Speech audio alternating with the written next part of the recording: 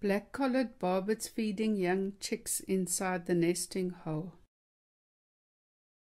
Arriving with food to feed the chicks and checking to see if all is safe.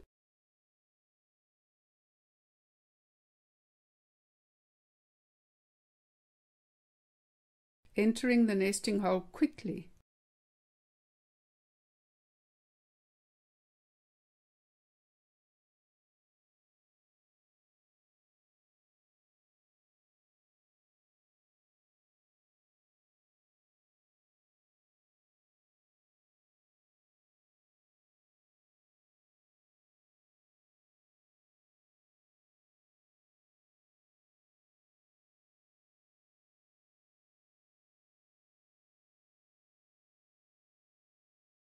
They are always on the lookout at the nest area for danger.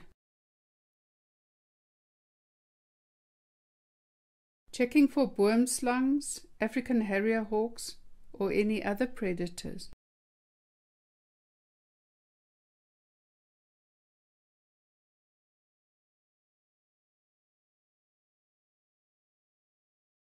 They remove feces and wood chips from the nesting hole.